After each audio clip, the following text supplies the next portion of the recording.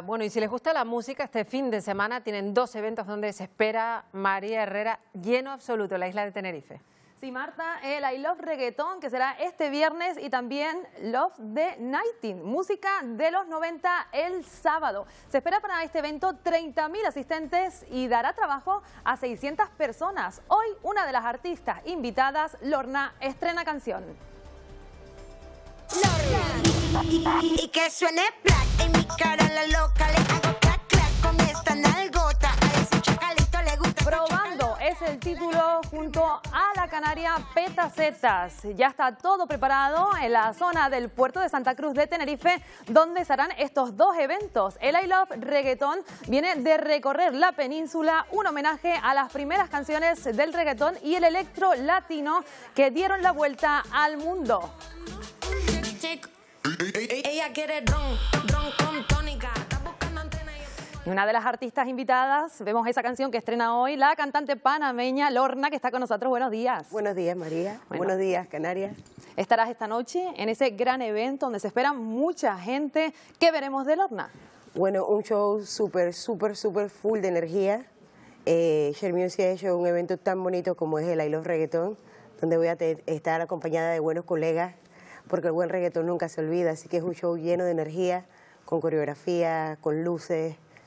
Hablabas de colegas, colegas que conoces bien, serán 15 artistas que se suben. La idea es recordar, Lorna, pues cómo comenzó el reggaetón. Estarás bien acompañada, ¿no? Claro que sí, y más que todo también, eh, como decía, los temas que nunca mueren, porque quedaron temas que, que, quedaron para el resto de la historia, o sea, clásicos que se reviven y la nueva generación sigue bailando. Bueno, un tema para la historia. Sí. Papi chulo, ¿no? Sí. ¿Cómo lo has vivido? El éxito te ha acompañado durante muchos años de esta canción. Bueno, realmente Papi Chulo es como mi hijo más preciado, es el tema que, me lanzó a, nivel mundial. Con este tema he tenido la oportunidad de conocer alrededor de, de 80, 81 países más o menos y para mí ha sido una bendición el poder representar no solo a las mujeres panameñas, sino a las mujeres del mundo. Bueno, vemos esa canción probando que estrenas con la canaria Petaceta eh, esta noche. Mm, será el día del estreno en la isla de Tenerife. Y voy a cantar un pedacito para que sepa, porque quiero retribuirle todo el cariño que me ha dado Tenerife desde el principio de mi carrera, que como siempre lo digo y lo repito, de que fue una gran catapulta, porque gracias a las Islas Canarias, de ahí me di a conocer al resto de Europa, así que tengo un agradecimiento muy grande. Hablas de una canción enérgica, un momento de fiesta que siempre puede resolver, ¿no? Con esta canción y hacernos venir arriba. Hoy estrena Probando. Petaceta es una gran artista y yo creo que esa unión entre la vieja escuela y la nueva escuela va a dar mucho que hablar. Y créeme que es una canción que te pone a bailar desde el primer momento. En esas nuevas generaciones que se van incorporando también. Hablamos eh, de la perspectiva de género, ¿no? Porque ha habido una evolución, ya son muchísimos años los que llevas con el género urbano. La figura de la mujer, las letras, ¿han evolucionado? ¿Han cambiado en algo? Sí, eh, sí, pero también tengo que decir algo. En, el principio del género de reggaetón era un poco más difícil para las mujeres.